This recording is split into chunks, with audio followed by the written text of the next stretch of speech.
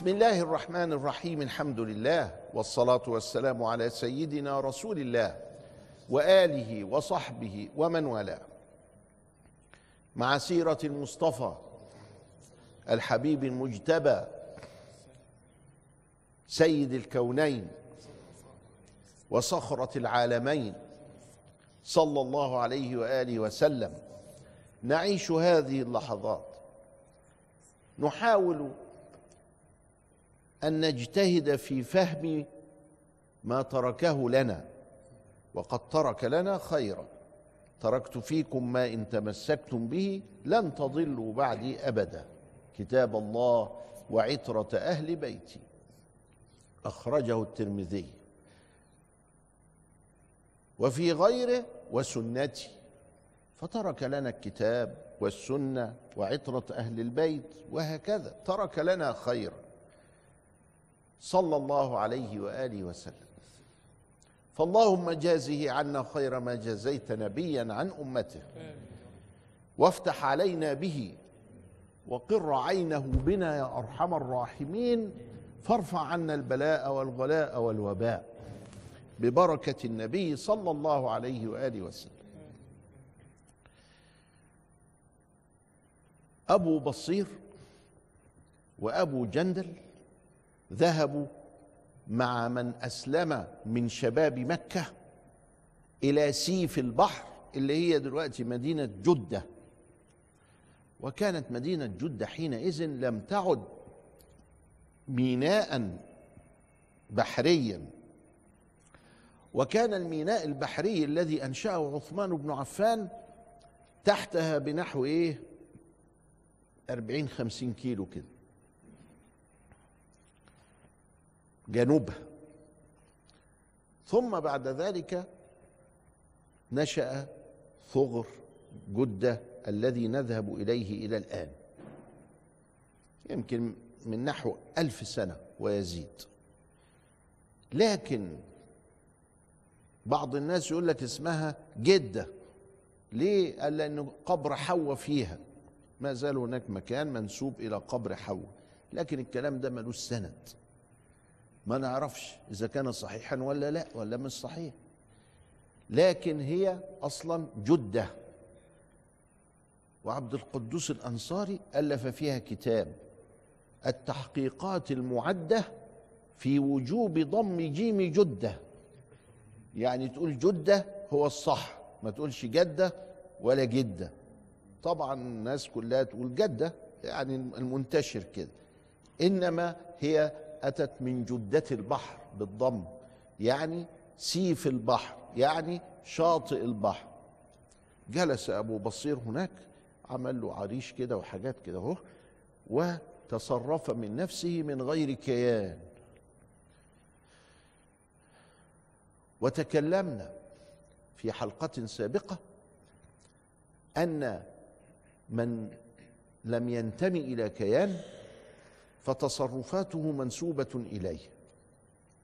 فإذا فعل كيانا فتصرفاته منسوبة إلى الكيان.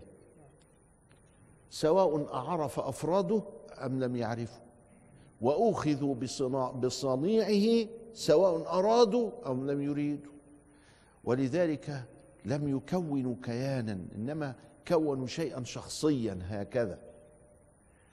يعبر عن رأيهم لا يمس حقوق المعاهدة ولا ما كان بين سيدنا صلى الله عليه وسلم وبين المشركين. ولا يتداخل في هذا الأمر. لكن على كل حال شعر المشركون أن هؤلاء مهما كان أتباع نبيهم الذين آمنوا به وإن النبي برضه له كلمة عليهم. يعني معقول النبي هيقول لهم اعملوا كده ومش هيعملوا؟ اسكتوا مش هيسكتوا؟ تعالوا مش هيدا فذهب بعض أهل مكة إلى رسول الله يناشدونه الله والرحم نتوسل إليك إنك تلم أبو بصير والجماعة بتوعه عشان دول أرهقونا. قال لهم ألمهم إزاي؟ إحنا متفقين ان إحنا اللي هيجي هرده لكم فما أقدرش ان أنا اقويهم قالوا له لا يا سيدي نعمل ملحق للاتفاقية. والجماعة دول تلمهم عندك تحت سلطانك لأنه بيننا وبينك إنه ما فيش حرب. وهم كمان بيعملوا كده انتقاما مننا إن إحنا جايبين البند ده. نعمل ملحق النبي عليه السلام أدم ملحق يبقى رسمي في الاتفاقية وافق فرح. فرح عملوا ملحق للاتفاقية. وتمام فأرسل إلى أبي بصير. قال له يا أبو بصير لم الأولاد عندك وتعالى لي.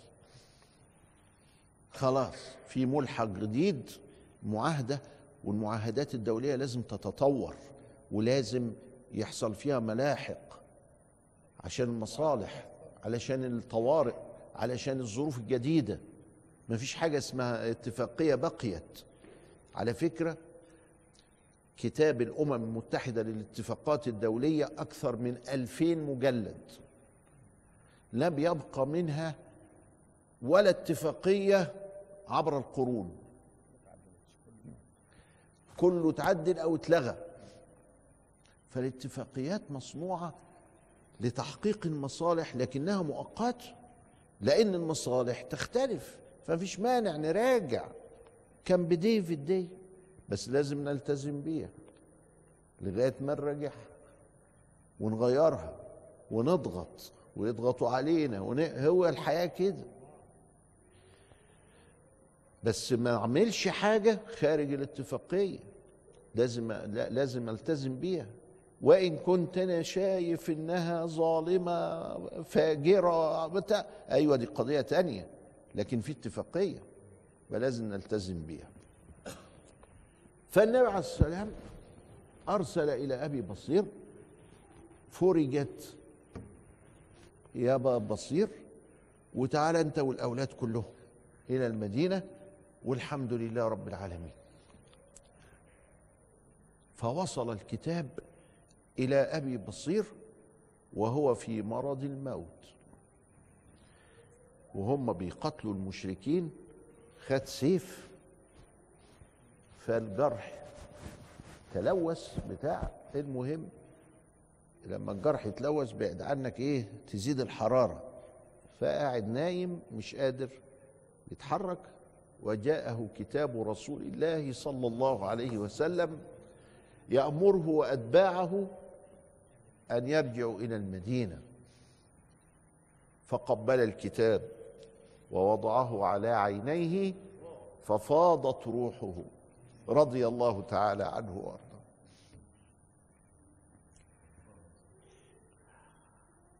ومات ورسول الله راض عنه.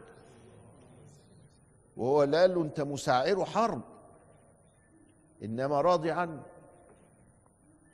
دي حاجة ودي حاجة. فجاءه أبو جندل ومن معه. إحنا فين؟ في سيف البحر. فدفنوه دفنوا أبا بصير في سيف البحر وبنوا عليه مسجدا. دفنوه وبنوا عليه عند القبر بتاعه مسجد يتصلى فيه. يبقى مش كلهم راحوا المدينة. ده لسه في ناس عشان تاخد الايه الهاربين من الشباب المقهور ممن يدخل الإسلام من مكة يبقى يروح يقعد في المحطة دي شوية وبعدين إيه يرجعوا مرة تانية إلى المدينة. فدفنوه في سيف البحر يعني في المدينة دي يعني في سيف البحر اللي هو في شاطئ البحر. وبنوا عليه مسجدا على العيال اللي بتقول إن سيدنا الحسين حرام. ليه؟ أصله فيه ضريح. يعني في الضريح بتاع سيدنا النبي وعمر وأبو بكر موجود في في المسجد. الذي كانت غلطة. يا ولاد الذين. والنبي عليه السلام ربنا هيختار الغلطة للنبي.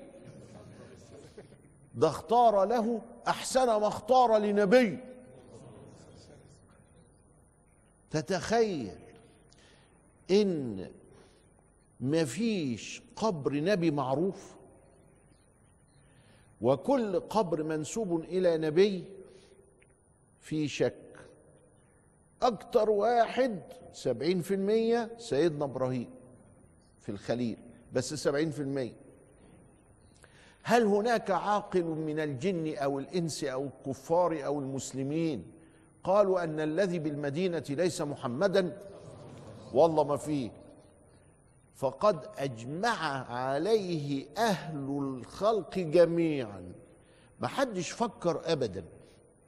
لا من المشركين ولا من الكفار ولا من المسلمين ولا من المؤمنين ولا من أهل الكتاب ولا من أي حد ما حدش فكر ابدا أن الذي تحت القبة الخضراء إنما هو غير محمد. ده إيه بقى؟ ده ده مش يقين ده واقع. اسمه كده مش اسمه يقين ده ده واقع. ده لا يختلف فيه اثنان ولا يتناطح فيه كبشان. بعد الفاصل نواصل.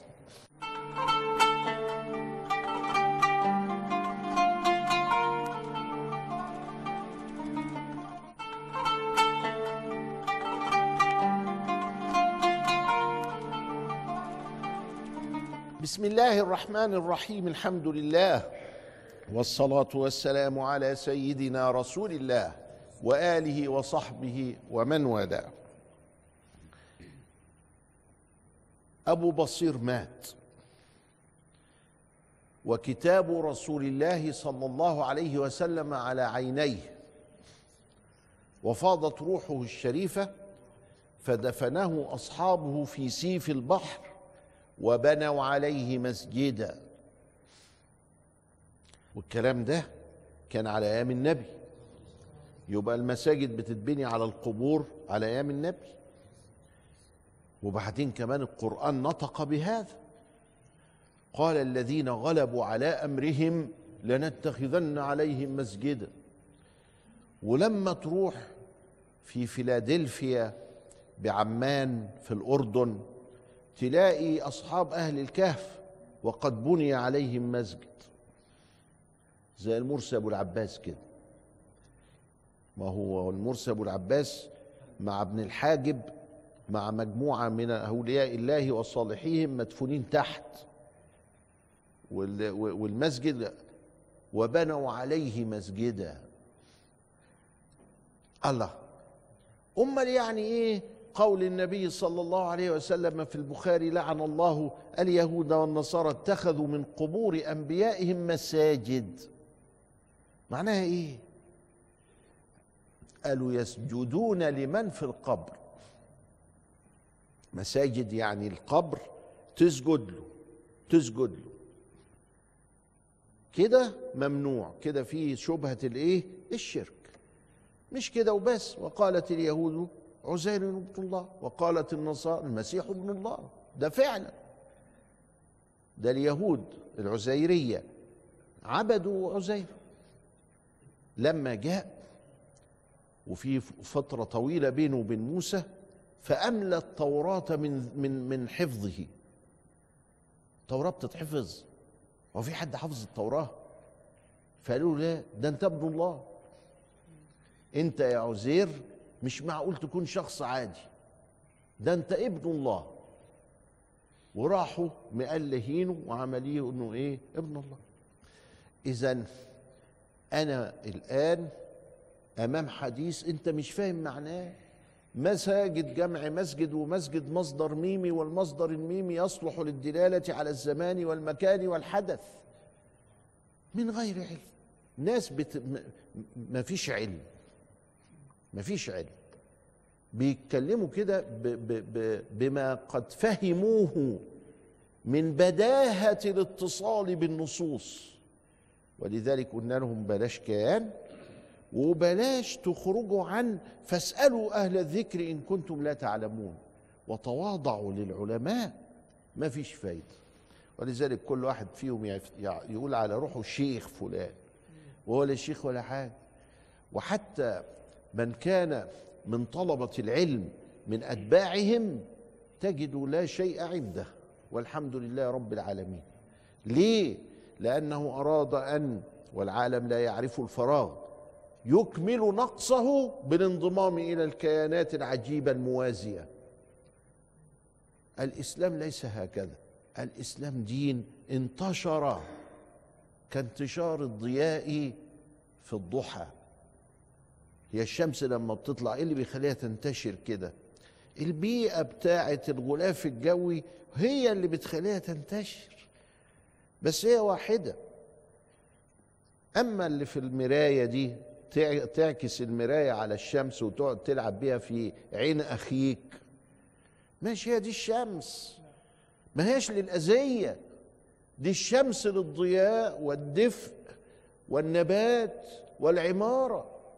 أما اللي في المراية ده للأذية تحرق بيها تعاكس بيها وآدي الكيان الموازي. في سيف البحر دفنوه وبنوا عليه مسجد علشان الناس لما تيجي تصلي اللي هاربين من مكة وأبو جندل وإخوانه رجعوا إلى سيدنا رسول الله صلى الله عليه وسلم ونحن الآن بنتكلم إمتى؟ بنتكلم بالشكل ده في أواخر الحجة سنة ستة وبدايات سنة سبعة. المحرم في المنطقة دي حصلت كل الأحداث دي. قلنا القعده حصل فيها الحديبية. رجعوا خدوا لهم بتاع سبع ثمان أيام عبال ما رجعوا المدينة.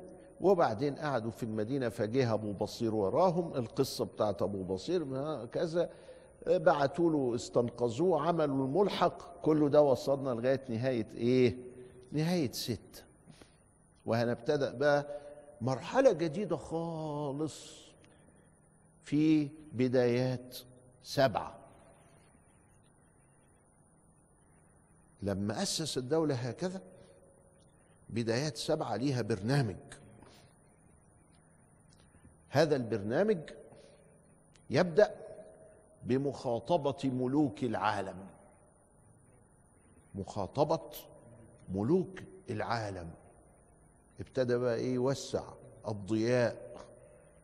مش بس مدينة ومكة ومش عارف خزاعة وكذا لا الضياء بقى يمشي كده. فبدأ يكتب إلى الملوك في المحرم من السنة السابعة.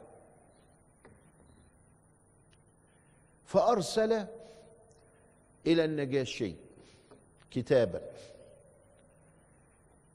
فالنجاشي حط الكتاب على راسه كده أهو.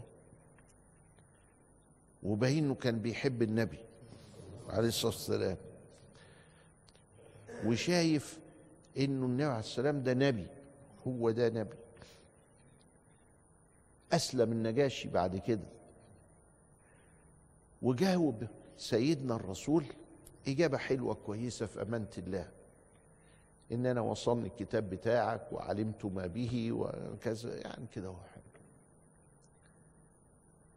وأرسل حاطب بن أبي بلتعة وكان يجيد اللسان الرومي إلى بنيامين اللي هو المقوقس كان اسمه بنيامين.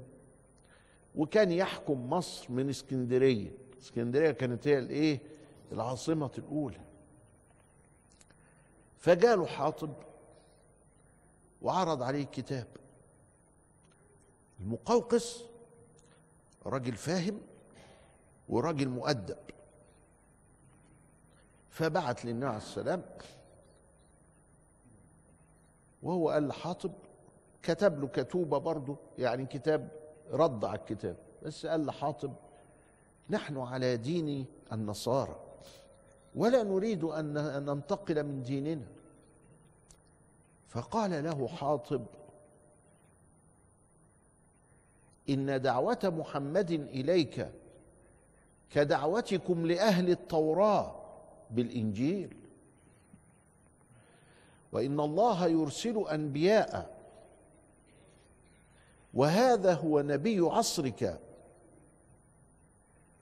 وهو لا يقول لك اترك النصرانية بل يقول لك استمر عليها فكن مسلما. إيه ده؟ إيه ده؟ إيه الحلاوة دي؟ إيه الجمال ده؟ بيقول له في حد قال لك تسيب النصرانية؟ ما إحنا معترفين بالنصرانية. ده هو بيقول لك في دين بيعترف بالنصرانية. بس الزمن هتيجي فتدخل فيه. بس. فالمقوقس كتب لسيدنا أتاني كتابك وقرأته وعلمت ما به وكذا إلى آخره. وإني أهديك ها يعني في ود في كلام في ود. وإني أهديك بغلة. وجاريتان هما من أعاظم الروم. الجاريتين دول اللي هم السيدة ماريا والسيدة سيرين من أعاظم الروم. وثوب حتة كده قطنية مصرية حلوة. ساعتها كان المصريين مهتمين بالقطن كده. وثوب وزق عسل من بنها اللي هي بنقول عليها بنها دلوقتي. ولذلك المنسوب إليها يقول بنهاوي بنها. واسمها دلوقتي لغاية دلوقتي إيه؟ بنها العسل. بنها العسل لأنها بعتوا ليها من من بنها دي إيه؟ لسيدنا زق عسل عسل أبيض. أيوه. ولغاية النهارده بتنتج برضو العسل. وعسلها كويس نمرة واحد يعني أطفى أولى. وبعدين آه، وإني سأفكر فيما عرضته علي. يبقى إذا هيفكر. النجاشي طلع مؤدب والمقوقس طلع مؤدب المصيبة بقى في كسرى اللي راح له الجواب فراح قطعه بالسيف كده وقتل الرسول اللي حمل. فلما سمع رسول الله صلى الله عليه وسلم بذلك قال اللهم يعني حطم أو يعني ملكه أو مزق ملكه. اللهم مزق ملك فتمزق وراح خلاص. ولما كان بقى ابنه بيعمل عليه حيلة إنه هو يقتله. فكسرى جاب سم وحطه في حق وكتب عليه من بره اللي ياخد من الحاجة دي يعيش على طول ما يموتش. اكسير الحياة. فالولد الغبي راح شافه في في المقتنيات اللي ورثها عن أبوه اللي قتله فراح شربه فمات. فقالوا لم يقتل ميت حيا إلا هذا. قتلوا. فلما قتلوا خلص خلاص كده أهو تولت أخته. فقال رسول الله صلى الله عليه وسلم لن يفلح قوما ولوا أمورهم امرأة. يعني يعني فارس مش هتفلح لأنه كسر الجواب. قوم الناس فكرت إنه بيشتم في الستات. ما هو دي بقى جاية منين؟ جاية من أخذ النص من سياقه. يا جماعة طب ما تقروا اللي قبليها واللي بعديها. يقول لك لا حط دي جنب ناقصات عقل ودين جنب مش عارف المرأة تسجد لزوجها جنب كذا كذا كذا تطلع في النهاية المرأة دي لازم نرميها. للقطط. الدين مش كده. الدين بيقول لك إنه كان لما الستات بتشكي من الرجالة يشد على الرجالة شوية ويقول خيركم خيركم لأهله وأنا خيركم لأهله. النساء شقائق الرجال. فالستات تتمرع قوي. فيجي الرجالة يشتكوا. فيقول لهم الكلام ده. اصبروا شوية ده كذا إلى آخره. ففي تو... لازم تقرأ مع بعض. مش تقرأ حاجة دون حاجة. طيب اذا بدأنا في السنة السابعة فإلى لقاء آخر نبدأ بكم هذه السنة في برنامجها من كتابات الملوك ومن حرب خيبر وتحريرها. إلى لقاء آخر أستودعكم الله والسلام عليكم ورحمة الله وبركاته.